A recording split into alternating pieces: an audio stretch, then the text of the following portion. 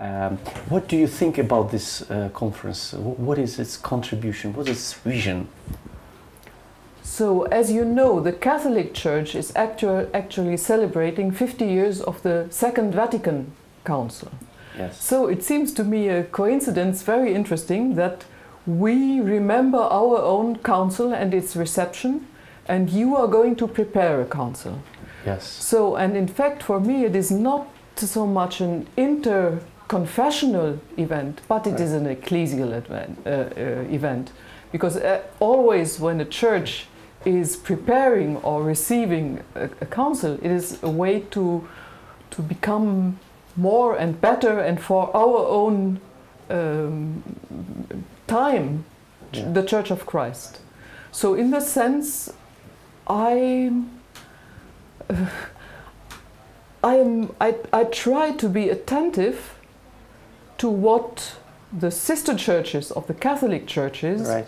are discussing actually in order to learn about my own uh, tradition and maybe to have another look on my own tradition. So as we are in this house, I know that Sergei Bulgakov lived on the second floor.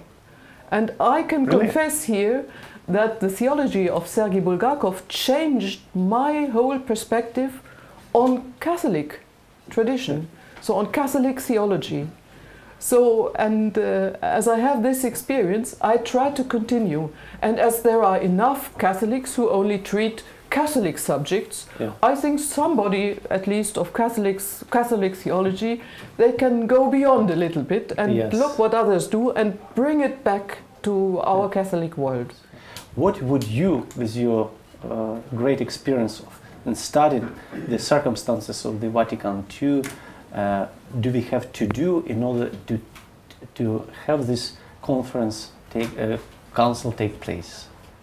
Absolutely. So, and in this sense, sometimes also when I talk with the rector, we say maybe it, maybe it is a, a, a way of wisdom to do to prepare your council in another way uh, as we did, because we and it is easy in the Catholic tradition. You say the Pope calls the bishops, the Yeah. bishops come, and the council starts. Yeah. So, but you see that 50 years after the Second Vatican Council, we still have the question how to receive it. We have different interpretations. We did not realize everything what was said. So the process of reception is very long and very, very painful. So maybe you have the painful process before prepara- starting the preparation. process. And then when you will have the, the, the council, it will be a joyful celebration of uh, the In problems which have been overcome. Maybe in paradise, but it's not the best, not the, Right. the, the worst way of celebrating. Absolutely, absolutely. Barbara, you mentioned that the Orthodox Church suffers a sort of uh, an opposite problem, uh, namely that uh, finding uh, someone in the church who would have a sort of leading role. There are a few pretenders, but it's not uh, really um, expressed in reality.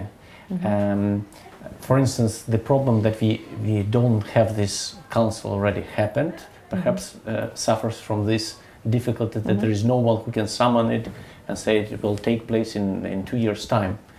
Uh, what do we have to do to, to find a solution for that? Maybe, again, first of all, realize the problem. Right. So when I teach the students of the first year about the Orthodox tradition, Right. I always say, look, if we accept this pentarchy, you can easily see that there is only one patriarch in the west and four in the east and one emperor in the east. So it's uh, by the historical development Yeah. that the emperor became the representative of unity while there was a plurality of, Yeah. of, of patriarchs, of church Right. um, seats. Right. So in this sense, and you see immediately that the that also for the Western uh, patriarch, it was important to have as a partner an emperor. Right. So in this sense, I do not think that the reference to the emperor is an extra theological argument or element Yeah. but it is an important element. It is not theocra- uh, theocratic uh, uh, Yeah. way of interpret- interpreting, but it is also a relation with this sacramental view of the church who realizes that if we are waiting for and preparing the kingdom of God, yes. And if the, the creation as such is able to realize this kingdom of God, yeah. every kind of uh, of, uh, of king or emperor or democratic government, yeah. it, we should be able as Christians to see in it the possibility, the capacity, the, the creational capacity, capacity to realize and to prepare this kingdom. So, in this sense, if I speak about the emperor as a sign of unity, right. I do not do it in a, in a negative way. I, I realize that. When uh, you mentioned, for instance, the Catholic Church, yeah. uh, we do have this emperor in, in, a way there, but because the Pope can summon a, a council, like, like it happened yeah. in 1959, the Pope came, was elected, and he said there will be a council, and it yeah. took place. Yeah, exactly. uh, but uh, in the Orthodox Church, who do you think can ever have such this influence? Actually, I see the problem that if the Patriarch of Constantinople right. tries to be the Orthodox Pope, yeah. there will be no possibility to create unity. uh, it's just an observation. I right, do not. Right, uh, right. No, it's not, no claim. Not it's, given uh, a, a theological right, interpretation. So, in in this sense, I really I see a difficulty, which you have yes. to admit.